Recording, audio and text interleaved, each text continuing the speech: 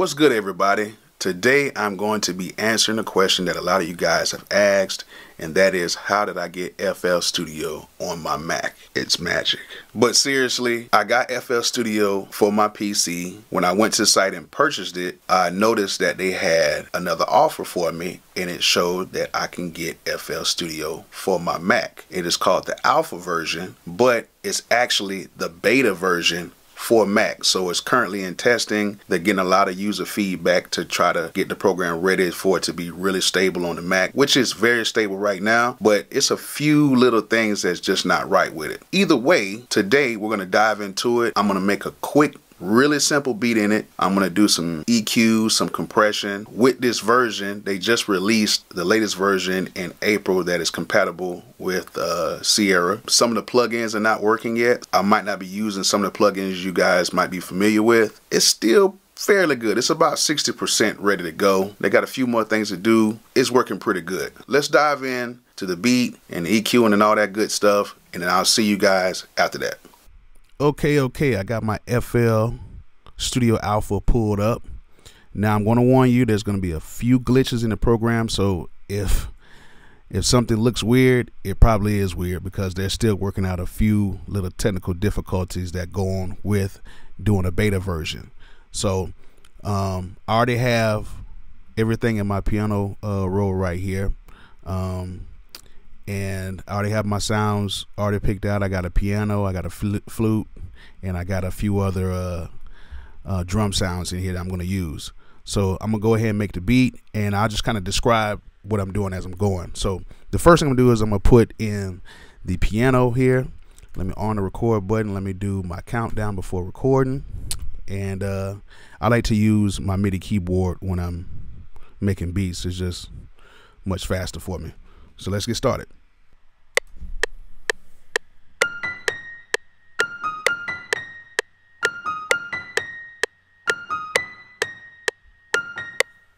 Okay, so now let me go ahead. I want to quantize it. It's two ways you can quantize it. It could be um, Command Q or Option Q. Command Q uh, snaps it right into place.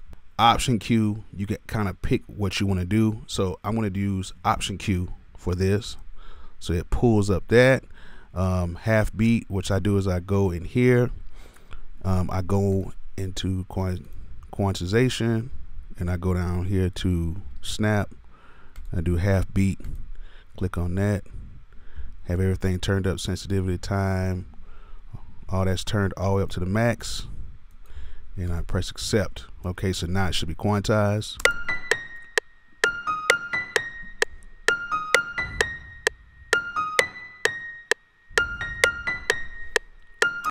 Cool like how that sounds.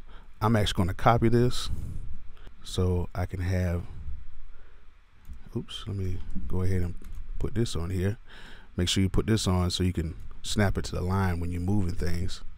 So let me take this and scoot that over right there so I can have eight bars of that. And next I'm gonna do my flute.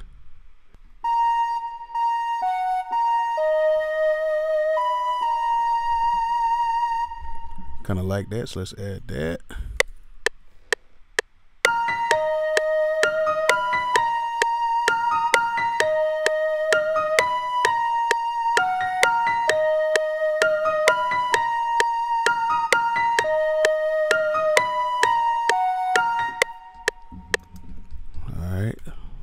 quantize that.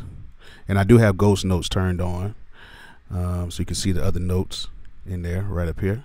So I'm gonna quantize that.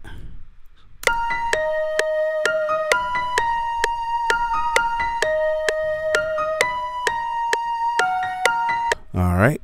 So next I'm gonna add my clap in there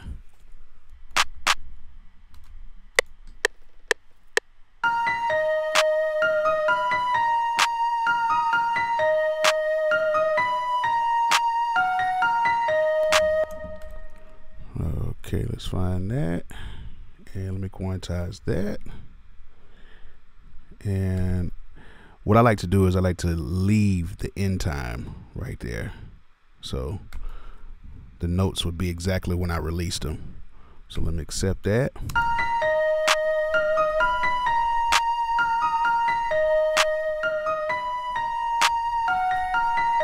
And I believe I have a limiter on here.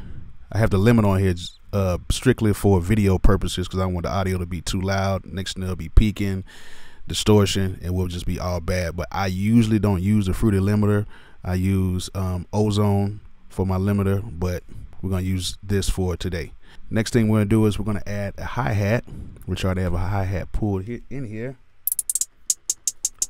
I kind of like that key right there. So we're gonna take it and how I do my hi-hats, I just stretch it out and I just kind of create as I go.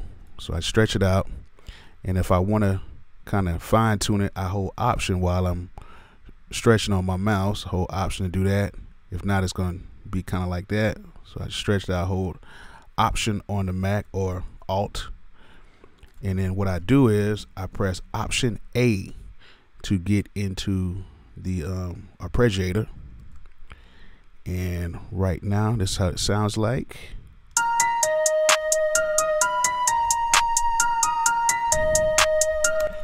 sounds pretty cool but let me put a couple little rolls in there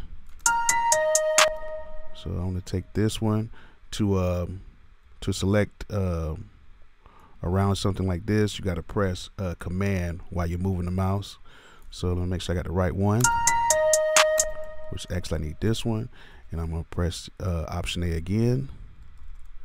Well, now this is where we have a problem. When I do that, it freezes up on me. So what I usually have to do is I have to go back in here and then do that again and then press option A again just for that to pull up. So it still has a lot of bugs in here, but I found a little workaround. So let me pull this time back and put that there. So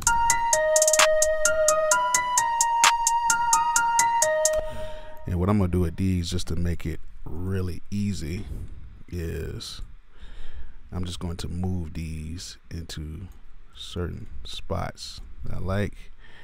And I'm gonna just keep it real simple. So let me just go ahead and just uh, delete these parts. And I'm actually trying to press delete but of course it still has a few kinks in it. So when I press um, the function and delete it's supposed to delete but it still has a few bugs that has to be fixed but you know it's a workaround around it. So let me move this like that and copy that there. So now we have this.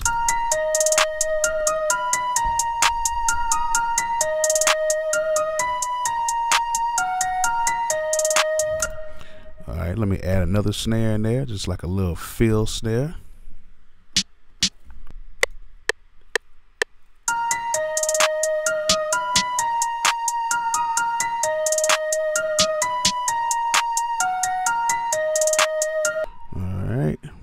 That.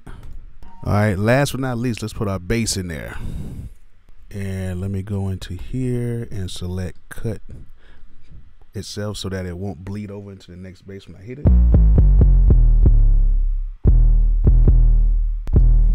All right, so let's go ahead and put that in there.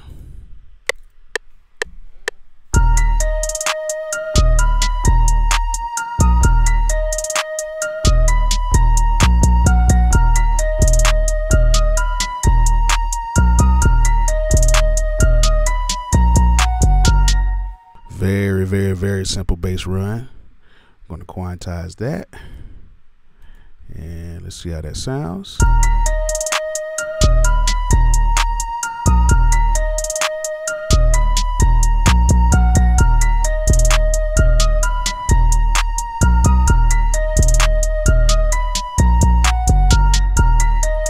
All right, let me let me add something there because it's just very simple.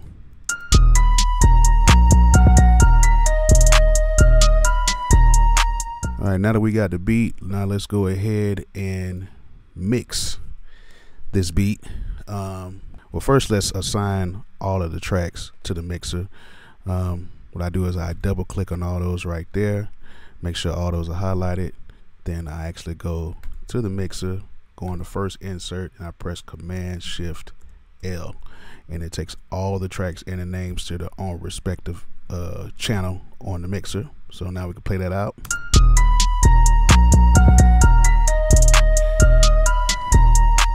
And uh, basically we're we're almost done. So what I do is um, I just a few of the sounds I like to go in and kind of EQ because if you can't hear it, you don't need it. So let me go ahead and solo that out. I press command and I click on it to solo it out like the clap. I'll use the EQ2. All right. And what I like to do is if I don't need it, I take it out. Too much. Sounds good there. Done.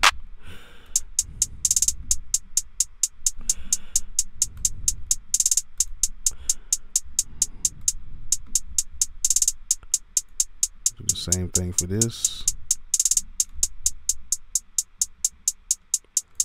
Cut a little bit more on there. I like how that sounds. Same thing for this.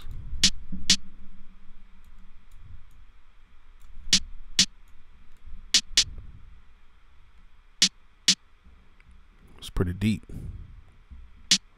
Okay, about 127. Okay, I cut. And then the piano.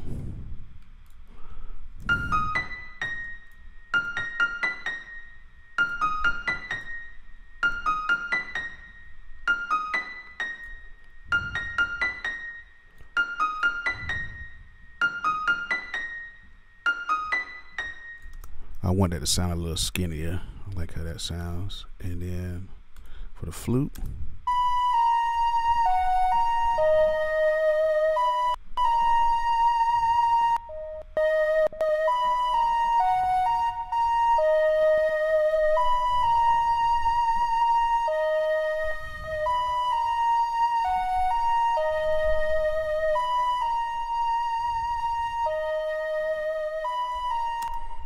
Okay, cool. Now with this, let me add a little bit of reverb.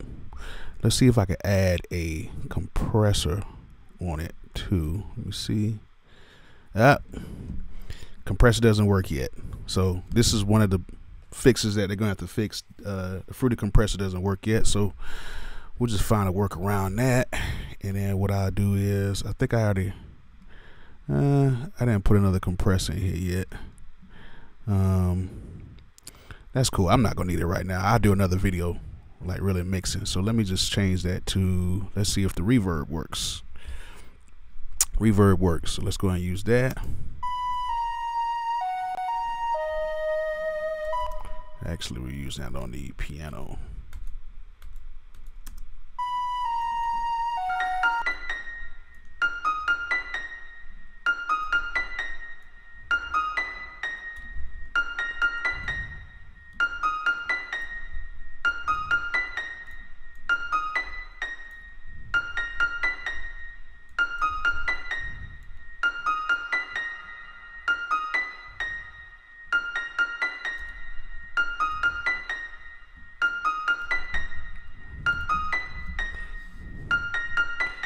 That's cool. So let's see how everything sounds. Let me go ahead and select all these. What I do is I press command and I just go to the whatever track and I just drag it all the way over. Let's pull these down and let's see how everything sounds. Oops, my bad. Turn everything back on.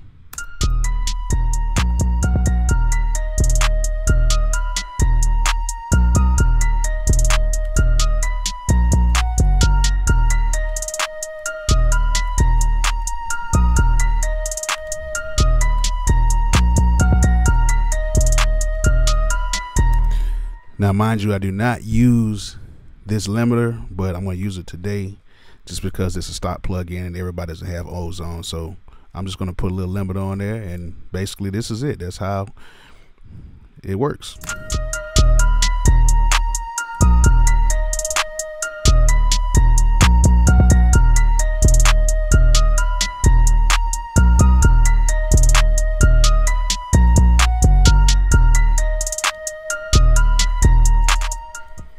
Right, that's pretty much it. Now we can go ahead and put this into song form.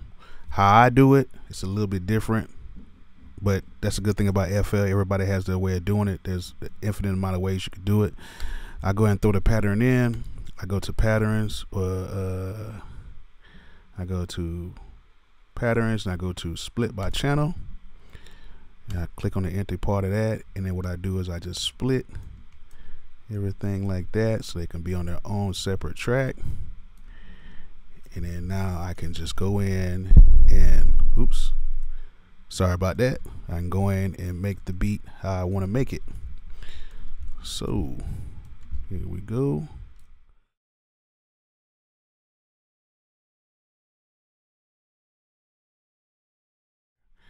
So let's see how everything turns out.